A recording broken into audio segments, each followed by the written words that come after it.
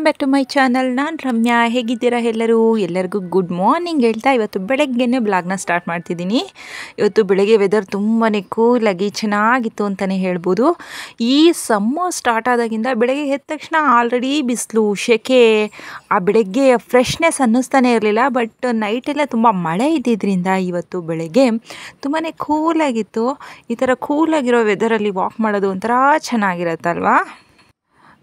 ಭವಿಷ್ ಕೂಡ ಇನ್ನೂ ಮನಗಿದ್ದ. ನಾನು ಸ್ವಲ್ಪ ಬೇಗ ಎದ್ದಿದ್ದೆ. ಹಾಗಾಗಿ ಸ್ವಲ್ಪ ಹಾಗೆ ವಾಕ್ ಮಾಡಿಕೊಂಡು ನಿನ್ನೆ ನೈಟ್ಗೆ ಬಟ್ಟೆ ಎಲ್ಲ ಗಾಳಿಗೆ ಇದಾಗ್ಬಿಟ್ಟಿತ್ತು. ಸ್ವಲ್ಪ ಅದನ್ನು ಕೂಡ ಹಾಗೆ ನೀಟ್ ಮಾಡಿ ವೆದರ್ನ ಹಾಗೆ ಎಂಜಾಯ್ ಮಾಡ್ತಾ ಇದ್ದೀನಿ.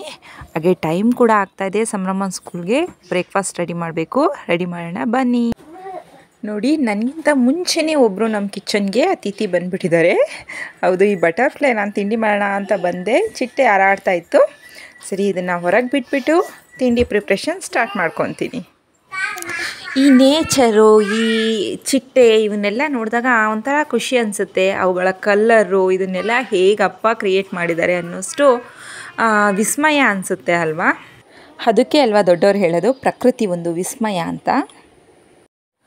ಈಗ ನಾನು ಟಿಫನ್ಗೆ ಕಾರ್ನ್ ಇತ್ತು ಅದರಿಂದ ಏನಾದರೂ ಮಾಡೋಣ ಅಂದ್ಕೊಂಡಿದ್ದೀನಿ ಹಾಗೆ ಸಂಭ್ರಮನ್ಗೆ ಲಂಚ್ ಬಾಕ್ಸಿಗೆ ಕಾರ್ನ್ದೇನೋ ಒಂದು ಐಟಮ್ ಮಾಡ್ಬೋದು.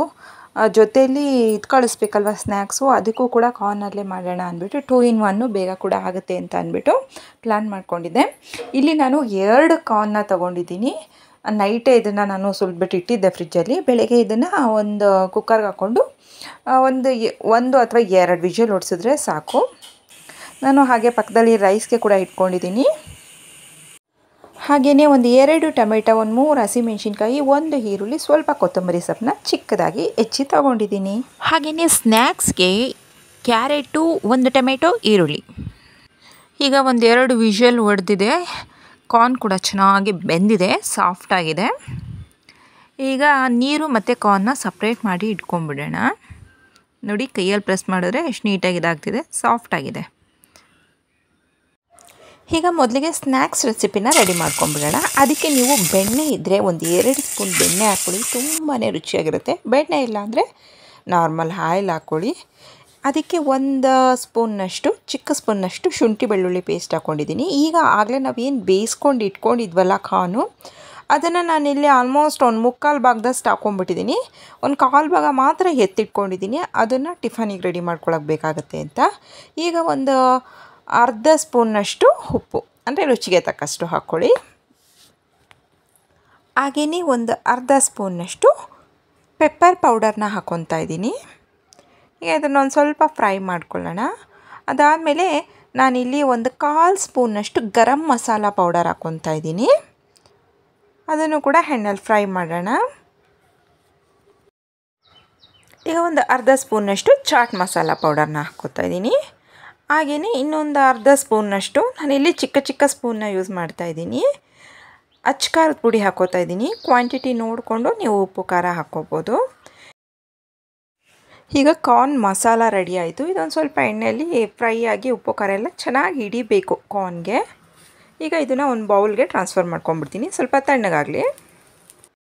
ನಾನು ಆಗಲೇ ಏನು ಬಾಣಲಿ ಯೂಸ್ ಮಾಡಿದ್ನಲ್ಲ, ಅದೇ ಬಾಣಲಿಗೆ ಮತ್ತೆ ಒಂದು ನಾಲ್ಕರಿಂದ ಐದು ಸ್ಪೂನ್ನಷ್ಟು ಅಡುಗೆ ಎಣ್ಣೆನ ಹಾಕ್ಕೊತಾ ಇದ್ದೀನಿ. ಒಂದು ಕಾಲು ಸ್ಪೂನ್ನಷ್ಟು ಜೀರಿಗೆ, ಒಂದು ಸ್ವಲ್ಪ ಸಾಸಿವೆ. ಈಗ ಒಂದು ಮೀಡಿಯಮ್ ಸೈಜ್ನ ಈರುಳ್ಳಿನ ಚಿಕ್ಕದಾಗಿ ಹೆಚ್ಚಿದ್ದೆ, ಅದನ್ನು ಕೂಡ ಹಾಕ್ಕೊತಾ ಇದ್ದೀನಿ. ಈಗ ಈರುಳ್ಳಿ ಸ್ವಲ್ಪ ಕಲರ್ ಚೇಂಜ್ ಆಗೋವರೆಗೂ ಚೆನ್ನಾಗಿ ಫ್ರೈ ಮಾಡ್ಕೊಳ್ಳೋಣ.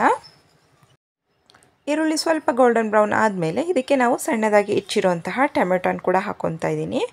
ಟೊಮೆಟೊನೂ ಅಷ್ಟೇ ಚೆನ್ನಾಗಿ ಎಣ್ಣೆಯಲ್ಲಿ ಫ್ರೈ ಆಗಬೇಕು, ಅದು ಪೂರ್ತಿಯಾಗಿ ಸಾಫ್ಟ್ ಆಗಬೇಕು.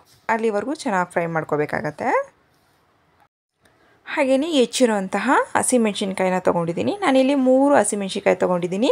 ಯಾಕೆಂದರೆ ನಾನಿಲ್ಲಿ ಖಾರಕ್ಕೆ ಪೌಡರ್ನ ಕೂಡ ಯೂಸ್ ಮಾಡ್ತಾ ಇದ್ದೀನಿ. ಹಾಗಾಗಿ ಹಸಿಮೆಣ್ಸಿನ್ಕಾಯಿ ನೋಡ್ಕೊಂಡು ಹಾಕ್ಕೊಳ್ಳಿ ಹಾಗೆಯೇ ರುಚಿಗೆ ತಕ್ಕಷ್ಟು ಉಪ್ಪನ್ನ ಕೂಡ ಹಾಕೋತಾ ಇದ್ದೀನಿ. ಉಪ್ಪು ಹಾಕೋದ್ರಿಂದ ಟೊಮೆಟೊ ಕೂಡ ತುಂಬ ಬೇಗ ಸಾಫ್ಟ್ ಆಗುತ್ತೆ. ಹಾಗಾಗಿ ಈಗಲೇ ಹಾಕೋತಾ ಇರೋದು. ಮತ್ತು ಒಂದು ಕಾಲ್ ಸ್ಪೂನ್ನಷ್ಟು ಅರಿಶಿನವನ್ನು ಕೂಡ ಹಾಕೊತಾ ಇದ್ದೀನಿ. ಇದೆಲ್ಲವೂ ಚೆನ್ನಾಗಿ ಎಣ್ಣೆಯಲ್ಲಿ ಫ್ರೈ ಆಗಲಿ, ಅಲ್ಲಿವರೆಗೂ ಚೆನ್ನಾಗಿ ಬಾಡಿಸ್ಕೊಳ್ಳೋಣ. ಈಗ ಆಲ್ಮೋಸ್ಟ್ ಚೆನ್ನಾಗಿ ಟೊಮೆಟೊ ಫ್ರೈ ಆಗಿದೆ. ಈಗಾಗಲೇ ಏನು ಸ್ವಲ್ಪ ಉಳಿಸಿ ಇಟ್ಕೊಂಡಿದ್ದಲ್ಲ ನಾನು ಕಾರ್ನು ಬೇಯಿಸಿರೋವಂಥದ್ದು. ಅದನ್ನು ಹಾಕ್ಕೊತಾ ಇದ್ದೀನಿ. ಈಗ ಅದೊಂದು ಸ್ವಲ್ಪ ಎಣ್ಣೆಯಲ್ಲಿ ಹಾಗೆ ಫ್ರೈ ಆದರೆ ಸಾಕು. ಈಗ ನಾನು ಇದಕ್ಕೆ ಒಂದು ಎರಡರಿಂದ ಮೂರು ಸ್ಪೂನ್ನಷ್ಟು ವಾಂಗಿಬಾತ್ ಪೌಡರ್ನ ಹಾಕ್ಕೊತಾ ಇದ್ದೀನಿ. ಈಗ ನಾನು ಇದಕ್ಕೆ ನೀರನ್ನ ಸೇರಿಸ್ಕೊತಾ ಇದ್ದೀನಿ. ನಾವಾಗಲೇ ಕಾರ್ನ ಬೇಯಿಸಿಟ್ಕೊಂಡಿದ್ವಲ್ಲ ಆ ನೀರು ಇದೆಯಲ್ಲ, ಅದೇ ನೀರನ್ನೇ ಯೂಸ್ ಮಾಡ್ಕೊಳ್ಳಿ.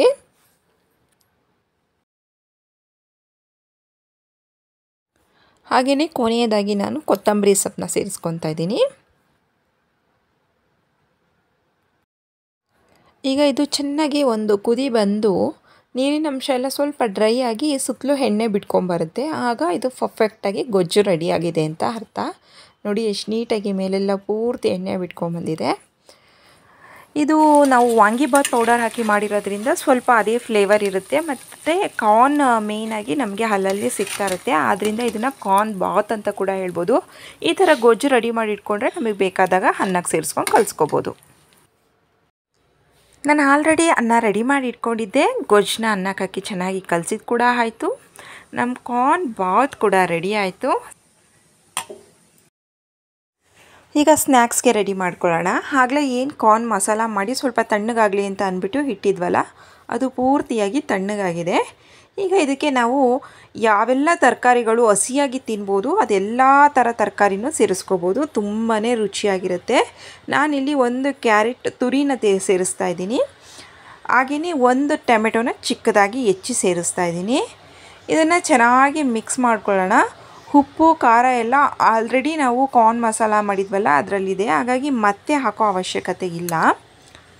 ಮತ್ತು ನಾನಿಲ್ಲಿ ನಿಂಬೆಹಣ್ಣು ಕೂಡ ಯೂಸ್ ಮಾಡ್ತಾ ಇಲ್ಲ. ಟೊಮೆಟೊ ಹುಳಿ ಇರೋದ್ರಿಂದ. ನಾನು ಸಂಭ್ರಮನ್ಗೆ ಸ್ನ್ಯಾಕ್ಸ್ ಬಾಕ್ಸ್ಗೆ ಈರುಳ್ಳಿ ಹಾಕಿಲ್ಲ. ಯಾಕೆಂದರೆ ಹೊರಗಡೆ ತಿನ್ನೋದು ಈರುಳ್ಳಿ ತಿಂದರೆ ಸ್ವಲ್ಪ ಬಾಯಿ ಸ್ಮೆಲ್ ಬರುತ್ತೆ ಅಂತ.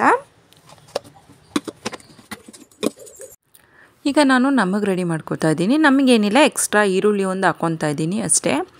ನೀವು ಬೇಕಾದರೆ ಮೇಲೆ ಸೇವಿದ್ರೆ ಹಾಕ್ಕೋಬೋದು. ಇನ್ನೂ ಕೂಡ ತುಂಬಾ ರುಚಿಯಾಗಿರುತ್ತೆ ಚಾಟ್ಸ್. ಲಂಚು ಸ್ನ್ಯಾಕ್ಸ್ ಬಾಕ್ಸ್ ಎಲ್ಲ ರೆಡಿ ಆಯಿತು. ಅಷ್ಟರಲ್ಲಿ ಭವಿಷ್ ಕೂಡ ಇದ್ದಿದ್ದ. ಅವನಿಗೆ ಬಿಸ್ಕೆಟ್ ಕೊಡ್ತಾ ಇದ್ದೀನಿ.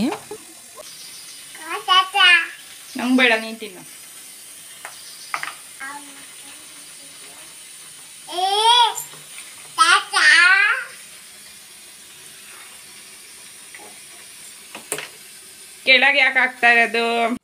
ಏನು ಮಾಡ್ತಿದ್ಯಾ ನೀನು ಯಾಕೆ ಕೆಳಗೆ ಹಾಕಿರೋದು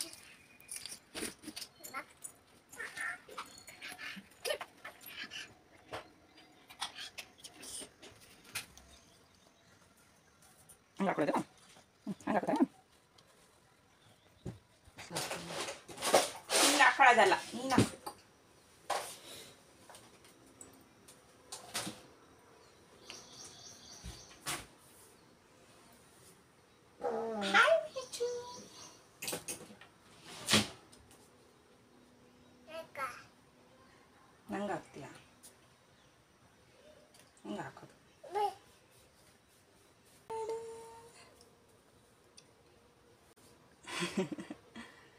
ya ada papa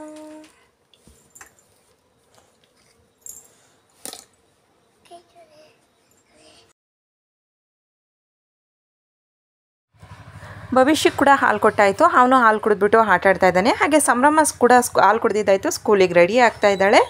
ನಾನು ಇವಾಗ ರೂಮಿಗೆ ಬಂದೆ. ರೂಮೆಲ್ಲ ಸ್ವಲ್ಪ ಕ್ಲೀನ್ ಮಾಡ್ಕೊಂಬಿಡೋಣ ಅಂದ್ಬಿಟ್ಟು ಬೆಡ್ ಸ್ಪ್ರೆಡ್ಡು ಬಂದುಬಿಟ್ಟು ನಿನ್ನೆ ನಾನು ಚೇಂಜ್ ಮಾಡಿದೆ ಹಾಗಾಗಿ ಇವತ್ತೇನು ಚೇಂಜ್ ಮಾಡೋಕ್ಕೋಗಲ್ಲ ಮೇಲೆಲ್ಲ ಹಾಗೆ ಧೂಳು ಉದ್ರಕೊಂಡ್ಬಿಡ್ತೀನಿ ರೋಗೆಲ್ಲ ನೀಟಾಗಿ ಮರ್ಚಿಟ್ಬಿಟ್ಟು ಒಂದು ಸ್ವಲ್ಪ ಬೆಡ್ ಸ್ಪ್ರೆಡ್ ಎಲ್ಲ ನೀಟ್ ಮಾಡ್ಕೊಂಬಿಟ್ರೆ ಕಸ ಗುಡಿಸ್ಕೊಂಡ್ರೆ ಮನೆ ಸ್ವಲ್ಪ ನೀಟಾಗುತ್ತೆ ಅಂದ್ಬಿಟ್ಟು.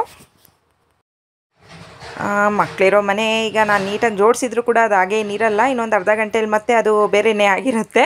ಆದರೂ ಅವಾಗವಾಗ ಇದು ಜೋಡಿಸೋ ಕಾರ್ಯಗಳ ನಡೀತಾ ಇರುತ್ತೆ.